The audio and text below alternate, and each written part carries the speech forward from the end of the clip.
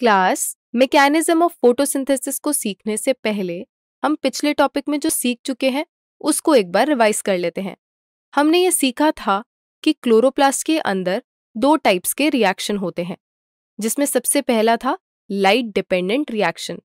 Light dependent reaction के end products होते हैं एटीपी और एनएडीपीएच दूसरे टाइप का रिएक्शन होता है लाइट इंडिपेंडेंट रिएक्शन, जिसको हम डार्क फ़ेज़ या फिर बायोसिंथेटिक फ़ेज़ भी बोलते हैं।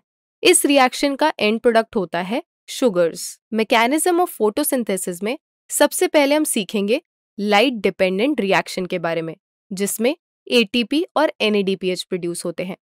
ये रिएक्शन हमने सीखा था थैलाकॉइड मेम्ब्रेन में होता है और ये प्रोड्यूस करता है एटीपी एक प्रोसेस के थ्रू जिसको हम बोलते हैं फोटोफॉस्फोरिलेशन अब आप सोच रहे होंगे कि फोटोफॉस्फोरिलेशन क्या होता है?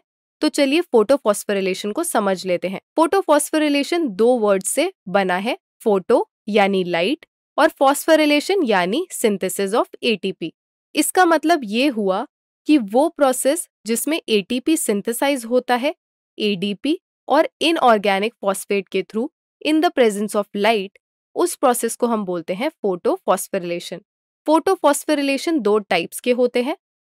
जेड स्कीम जिसको हम नॉन साइक्लिक फोटोफॉस्फोरिलेशन भी बोलते हैं।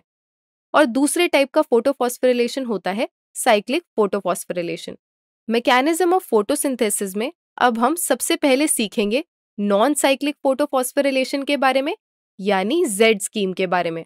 जेड स्कीम यानी non cyclic photophosphorylation light reaction का ही एक पार्ट है, क्योंकि लाइट रिएक्शन होता है थाइलाकॉइड मेम्ब्रेन में, इसीलिए ये प्रोसेस भी थाइलाकॉइड मेम्ब्रेन में ही होता है। नॉन साइक्लिक फोटोफॉस्फोरिलेशन को समझने से पहले हम ये समझ लेते हैं कि जो भी कॉम्प्लेक्सेस इन्वॉल्व होते हैं लाइट रिएक्शन में, उनकी लोकेशन क्या है। जैसे कि आप देख पा रहे हैं, ये है थाइलाकॉइड मेम्ब्रेन थाइलाकॉइड्स को सराउंड करता है एक कलरलेस फ्लूइड जो हम ऑलरेडी सीख चुके हैं, जिसका नाम है स्ट्रोमा थाइलाकॉइड मेम्ब्रेन के अंदर भी फ्लूड प्रेजेंट होता है और इस फ्लूड को बोलते हैं ल्यूमिन थाइलाकॉइड मेम्ब्रेन के अंदर कुछ कॉम्प्लेक्सेस एम्बेडेड होते हैं, जैसे कि फोटोसिस्टम टू फोटोसिस्टम वन और cytochrome B six F complex एक चौथा कॉम्प्लेक्स भी प्रेजेंट होता है, जो थाइलाकॉइड मेम्ब्रेन में प्रेजेंट होता है, उसको हम एटीपी सिंथेस बोलते हैं। एटीपी सिंथेज का सिर्फ़ एक पार्ट थाइलाकॉइड मेम्ब्रेन में एम्बेडेड होता है, दूसरा पार्ट थाइलाकॉइड मेम्ब्रेन से प्रोट्यूड करता है। एटीपी सिंथेस के दो पार्ट्स होते हैं। सबसे पहला पार्ट है F one particle F one particle thylakoid membrane के बाहर प्रेजेंट होता है। दूसरा पार्ट है एफ़ नॉट यानी F zero particle F zero particle thylakoid membrane के अंदर एम्बेडेड होता है। इन चार कॉम्प्लेक्सेस के अलावा एक फिफ्थ कॉम्प्लेक्स भी प्रेजेंट होता है, जो कि थाइलाकॉइड मेम्ब्रेन के बाहर प्रेजेंट होता है। इस कॉम्प्लेक्स को हम बोलते हैं एनएडीपी प्लस रिडक्टेज या फिर एनएडीपी रिडक्टेज जेड स्कीम यानी कि नॉन साइक्लिक फोटोफॉस्फोरिलेशन को समझने से पहले हम कुछ टर्म्स को समझ लेते हैं। सबसे पहले हम रिडक्शन पोटेंशियल को समझ लेते हैं। रिडक्शन पोटेंशियल का मतलब होता है टेंडेंसी टू गेन इलेक्ट्रॉन्स यानी कि जो मॉलिक्यूल सबसे ज़्यादा इलेक्ट्रॉन्स गेन कर सकता है, यानी कि उसकी टेंडेंसी ज़्यादा है इलेक्ट्रॉन्स गेन करने की तो उसका रिडक्शन पोटेंशियल ज़्यादा होगा। दूसरा आता है ऑक्सीडाइजिंग एजेंट ऑक्सीडाइजिंग एजेंट का मतलब ये होता है कि ऐसा मॉलिक्यूल जिसमें इलेक्ट्रॉन्स एक्सेप्ट करने की टेंडेंसी ज़्यादा हो और वो खुद रिड्यूस हो सके। तो ऐसे मॉलिक्यूल को हम बोलते हैं ऑक्सीडाइजिंग एजेंट फिर आता है रिड्यूसिंग एजेंट रिड्यूसिंग एजेंट का ये मतलब होता है कि ऐसा मॉलिक्यूल जो अपने इलेक्ट्रॉन्स डोनेट करे और वो खुद ऑक्सीडाइज हो। तो ऐसे एजेंट को हम बोलेंगे रिड्यूसिंग एजेंट अब हम जेड स्कीम यानी कि नॉन साइक्लिक फोटोफॉस्फोरिलेशन का ओवरव्यू समझ लेते हैं। नॉन साइक्लिक फोटोफॉस्फोरिलेशन में फोटोसिस्टम वन और फोटोसिस्टम टू दोनों ही इन्वॉल्व होते हैं। इसमें सबसे पहले फोटोसिस्टम टू लाइट एनर्जी को एब्जॉर्ब करता है और एक्साइटेड स्टेट में कन्वर्ट हो जाता है। एक्साइटेड स्टेट में कन्वर्ट होने के बाद ये अपने इलेक्ट्रॉन्स ट्रांसफ़र करता है प्राइमरी इलेक्ट्रॉन एक्सेप्टर को, क्योंकि फोटोसिस्टम टू अपने इलेक्ट्रॉन्स डोनेट कर देता है प्राइमरी एक्सेप्टर को इसीलिए इस फ़ोटो सिस्टम में इलेक्ट्रॉन होल जनरेट हो जाता है।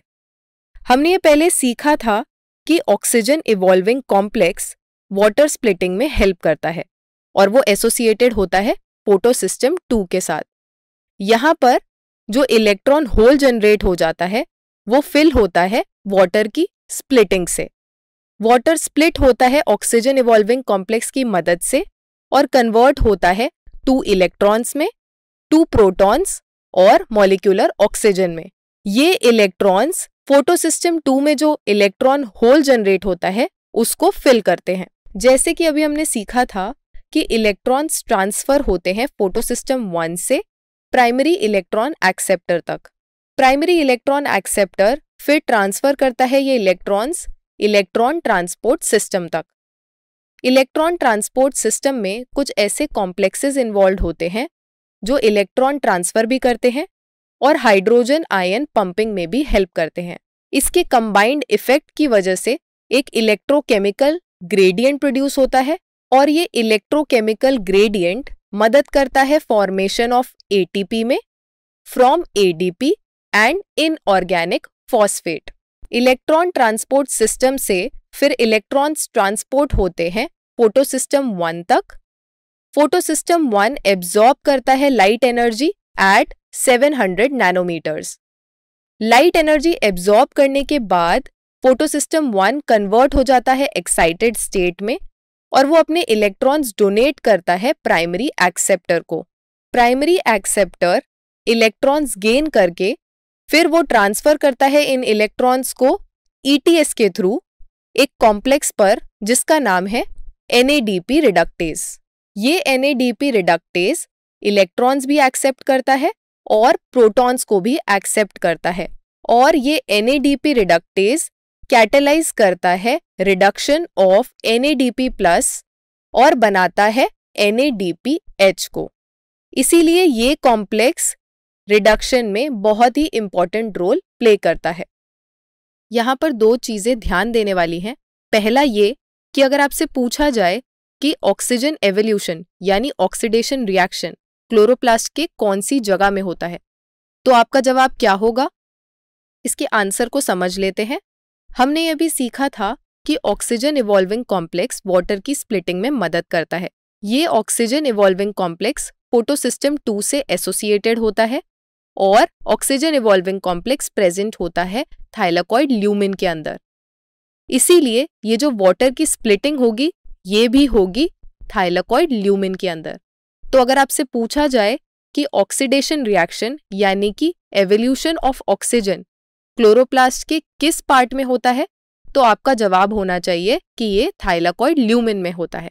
दूसरी चीज़ जो ध्यान देने वाली है, दूसरी चीज़ ध्यान देने वाली ये है कि अगर आपसे पूछा जाए कि रिडक्शन रिएक्शन क्लोरोप्लास्ट के किस रीजन में होता है तो आपका जवाब क्या होगा? इसका आंसर समझ लेते हैं। जैसे कि अभी हमने सीखा था कि रिडक्शन रिएक्शन परफॉर्म करता है एनएडीपी रिडक्टेज और ये एनएडीपी रिडक्टेज कॉम्प्लेक्स प्रेजेंट होता है थाइलाकॉइड मेम्ब्रेन के बाहर, यानी कि स्ट्रोमा के अंदर। इसीलिए जो रिडक्शन रिएक्शन परफॉर्म होता है, जो कि है एनएडीपी प्लस कन्वर्ट होता है एनएडीपीएच में, ये रिएक्शन भी होगा स्ट्रोमा के अंदर। इसीलिए आपका जवाब होना चाहिए कि रिडक्शन रिएक्शन परफॉर्म होता है स्ट्रोमा के अंदर। हम नॉन साइक्लिक फोटोफॉस्फोरिलेशन को जेड स्कीम इसीलिए भी बोलते हैं, क्योंकि यहाँ पर जो कॉम्प्लेक्सेस इन्वॉल्व होते हैं, वो जेड पैटर्न में प्रेजेंट होते हैं, जैसे कि आप यहाँ पर देख पा रहे हैं। ये सभी मेंबर्स एक जेड पैटर्न फॉर्म कर रहे हैं। नॉन साइक्लिक फोटोफॉस्फोरिलेशन यानी कि जेड स्कीम में सारे कॉम्प्लेक्सेस इंक्रीजिंग रिडक्शन पोटेंशियल के हिसाब से अरेंज्ड होते हैं। इसका मतलब ये हुआ कि इस सिस्टम में जो सक्सेसिव इलेक्ट्रॉन एक्सेप्टर है, उसका रिडक्शन पोटेंशियल हमेशा पिछले वाले कॉम्प्लेक्स से ज़्यादा ही होगा।